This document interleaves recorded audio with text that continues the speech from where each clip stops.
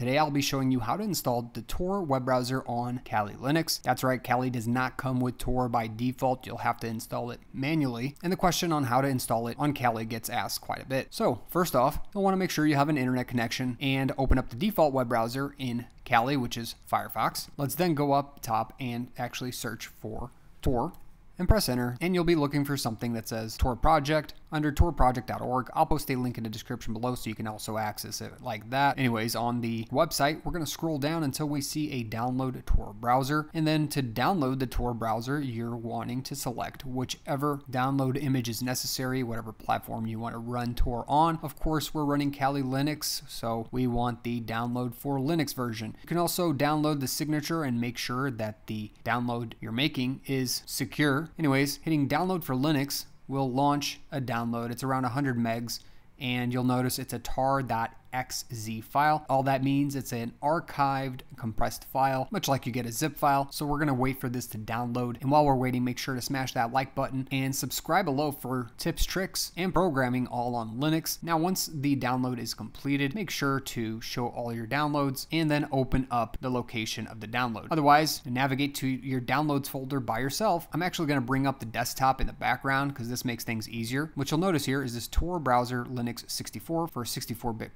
processor, and this is currently an archived compressed file, so much like a zip file, you have to uncompress this to get the contents. So how do we do that? Just double click on it. You actually have an archive manager built into Kali Linux that can open up and decompress whatever's inside this archive file. Notice what we have here. It says Tor browser and it's a folder of around 260 bytes. What I'm going to do now is drag and drop that on my desktop and give it a few moments to extract all the files from the archive file to the desktop. Once it's done, I'm going to exit out of these two and double click on the folder and you'll notice two things here, a folder called browser, don't touch anything in here. Instead, in the main folder, the Tor browser folder, you'll notice this start Tor browser.desktop. This is actually what we want to start up. But before we do, let's go down to properties and just confirm our permissions are correct. The owner here is Kali. We have read and write privileges, great. The group is also Kali. Other access is none, but the most important thing you want to check is here at the bottom, program. Make sure this is checked here. Allow this file to run as a program. Otherwise, it will not actually run the Tor browser once you double click on this file. So now that I've checked all that out, I'm ready to launch Tor browser. So I just double click on here and guess what? Give it a few moments and look at that. Tor browser is now launched. Things are ready to go. And you'll notice right here, if you want to use the browser over the Tor network, basically connect to a relay or node and mask your IP address, you can by hitting connect right here. Otherwise, you're going to be using this like a normal web browser and the IP your